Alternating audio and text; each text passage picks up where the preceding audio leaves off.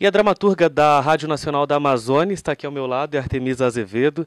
Ela é responsável pelo núcleo de radiodramaturgia aqui das rádios EBC em Brasília e já escreveu, sei lá, uma centena de radionovelas. Talvez eu esteja exagerando no número, mas eu acho que não, viu, Artemisa?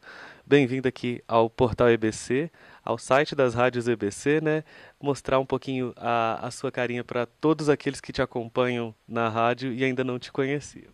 Obrigada, Murilo. É um prazer estar aqui com você, com os nossos amigos do portal.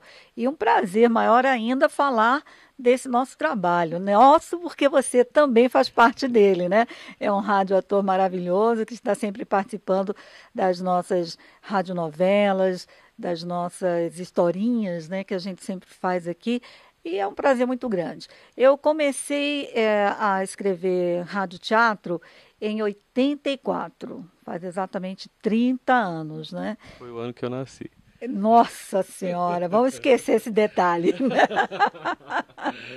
e começamos assim, com a intenção, a princípio, de levar só diversão para os nossos ouvintes, né? E foi um sucesso tão grande que eu fiquei impressionada e comecei a usar também o rádio teatro para levar todo tipo de informação, porque eu percebi que quando a gente botava informação no rádio teatros, no rádio teatro, eles assimilavam muito melhor, né? E gostavam, né?